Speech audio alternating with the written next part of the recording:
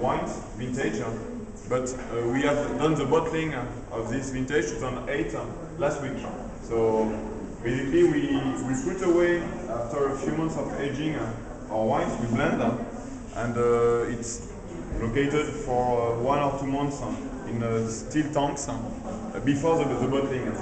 So just to come back from the vinification, we fill uh, the barrels and you will see some signs, some numbers. um, so all the barrels are in uh, oak. It's coming from a French forest. It's French oak. Different, um, different French forest, different regions, from center of France, from Alsace, from Burgundy, and And after um, we, um, we the, piece of wood uh, are stored outside uh, for 36 months uh, minimum, let's say. So it's outside. It's, it takes the, um, uh, the water, the wind, uh, etc. It takes part of the terroir of the of the cougars. Uh, second difference, the, the heat, and you will see some signs. For example, this one. Well, no, maybe nobody see it. It's M or M plus. This is uh, the kind of toast. Sometimes it's B.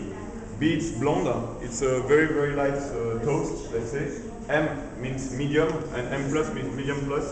So this is more toasted, and it will bring more uh, uh, toast flavors into our wines. In our policy, we try not to um, bring too much toast uh, in our in our wines, but we, we use three because some wines can better match with with that. But it's mostly M, B, uh, than medium plus basically. Uh, we keep our wines for um, uh, 16 to 18 months in barrels before the blending into steel tanks. and uh, steel tanks, we blend the, the wines for uh, one or two months before the, the bottling.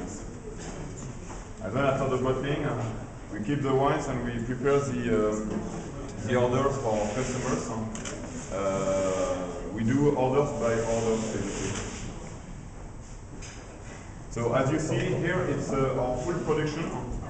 We have uh, approximately 40,000 bottles per year produced. And uh, in this uh, area, uh, which is half the storage capacity for, for us, we had in 2008. On the other side of the plastic curtain, we, we have still aging 2009 vintage, so only at the beginning of this, this stage. And uh, in November, approximately 2010, we'll, we'll have here the 2010 vintage. So we uh, will put away some of these barrels and we'll keep some of these barrels because we replace 60% of our uh, oak barrels every year. So we have 60% new and 40% one vintage oak barrels. And um, we put the wine in these barrels, but we uh, do not leave uh, there for 60 months. We do small operations because there is no filtration from uh, the, the time where you pick the run juice or the fresh juice to this side. So when you fill the barrels, uh, there are some leaves or some sediments inside that can uh, give uh, very nice things to the wine. It needs to be uh, put into suspensions to, to feed the wine. So that's why we use uh, this uh, model of uh, storage. You can hold the barrels and uh, when necessary, you do one, well, you have to be careful that Wait, it's empty. So generally, well, let's take another one. This one. And you do one turn on one side and one turn on the other side.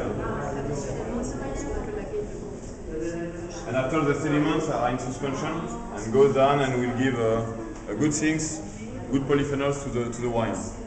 Uh, we do also what we call racking. So racking is the uh, historical uh, uh, way of putting the sediments into suspensions. And racking, we open uh, the uh, bond of the barrel. This this is in silicone, and we put the uh, racking uh, uh, machine, and we put away the um, the sediments into suspensions. But this this way is more violent and also brings oxygen into the wine, which is not the best thing. So that's why we we bought this system. It's called Oxoline system. It was first invented in 2001, and we, we had the third gener- generation here of uh. I invite you to, to go to the tasting. No, so turn to the left of the front door.